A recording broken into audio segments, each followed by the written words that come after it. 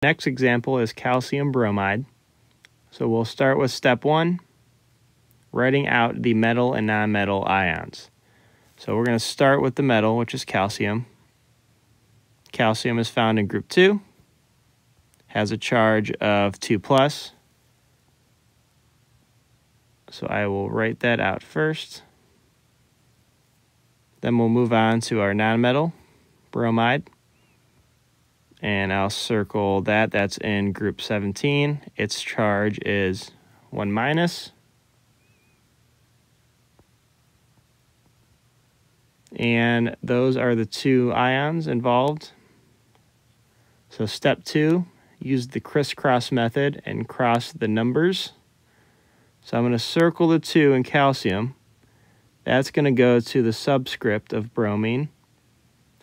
Then I will circle the 1, and that's going to go to the subscript of calcium.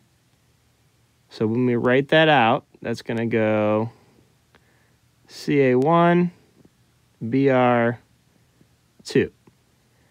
Now, remember, whenever there's a 1, we don't have to write it but we just assume that it's there. So the reduce method is just going to be CA BR2.